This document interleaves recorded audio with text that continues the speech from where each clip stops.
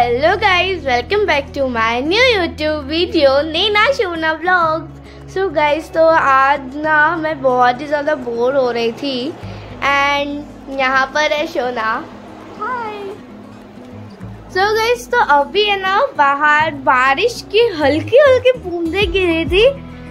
क्योंकि बाहर तो वैसे ही अभी समर चल रहे हैं तो बहुत ही ज़्यादा गर्मी होती है। एंड अभी बारिश गिरा है तो हल्का फुल्का ठंडा तो हुआ है लेकिन फिर भी अभी भी ह्यूमिडिटीज है। एंड अब मैं सोच रही हूँ कि बारिश हुआ है तो आज क्यों ना कॉफ़ी बनाया जाए। तो सोना!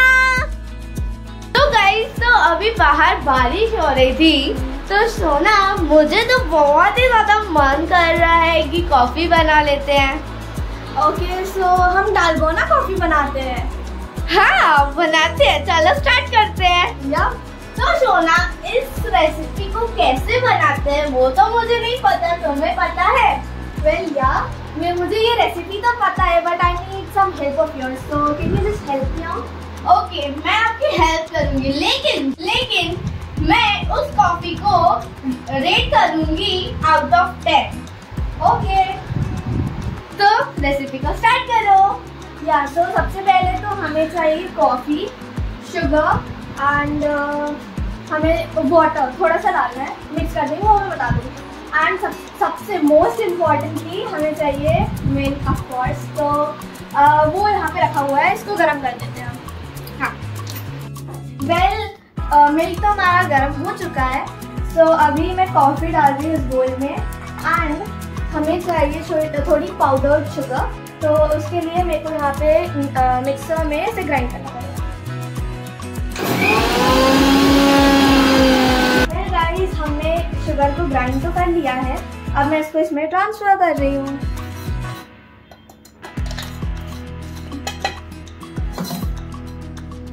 सो वेल हाँ यहाँ पे मैंने शुगर तो डाल चुका है। अब कॉफ़ी में हमें थोड़ा थोड़ा थोड़ा करके शुगर मिक्स करना है एंड थोड़ा थोड़ा वाटर ऐड करना है। फिर इसको मिक्स करके एक बहुत ही अच्छा like you know batter type का बन जाएगा एंड बहुत ही टेस्टी लगेगा और इस तरह हमने तीन चीज़ें ले ली है जो मोस्ट इम्पॉर्टेंटली है। ओके सो इसमें हमने लिया है कॉफ़ी यहाँ पे देन शुगर और ये वाटर एंड मिल्क तो गर्म हो चुका है ऑब्वियसली सो so, अभी हम इस कॉफ़ी में थोड़ा सा पहले शुगर ऐड करेंगे। देन थोड़ा सा वाटर ऐसे थोड़ा थोड़ा कर करके हमें क्वांटिटी बढ़ाती जानी है एंड मिक्स uh, करके ये बहुत ही अच्छा बैटर हो जाएगा।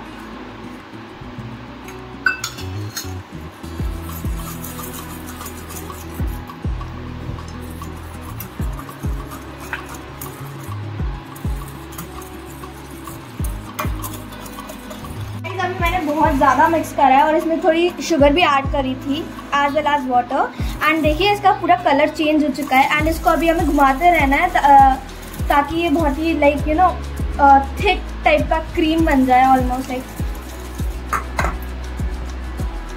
तो इस तरह से आपको शुगर ऐड करते जाना है एंड उसके साथ में थोड़ा सा वाटर ज़्यादा नहीं, क्योंकि फिर वो थिक नहीं हो पाएगा।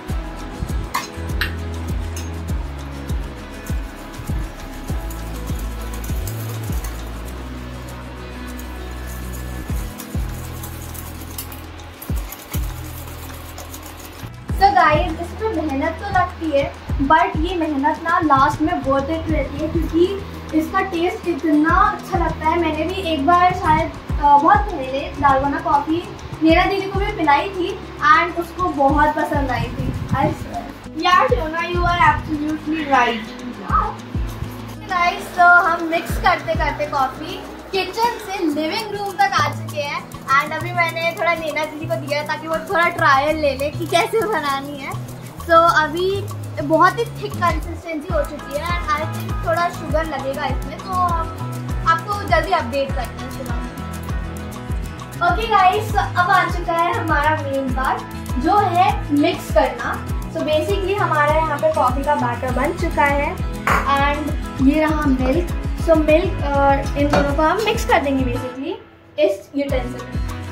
सो मेरा दीदी, इसमें थोड़ा सा मिल्क डाल दो, पहले। इसमें मैंने मिल्क इसलिए डाला ताकि ये थोड़ा सा लाइट हो जाए और मूव करने में थोड़ा आसानी हो।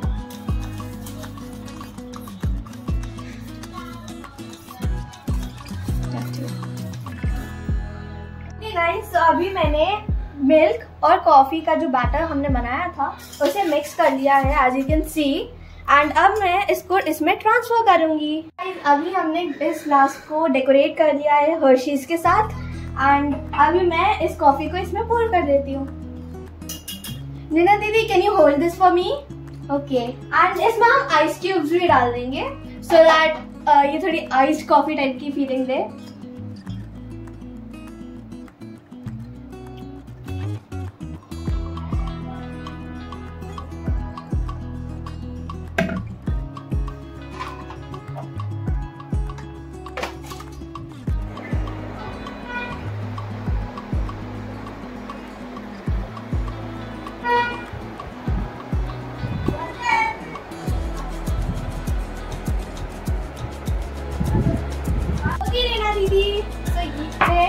Coffee and now it's time for you to rate them. Okay.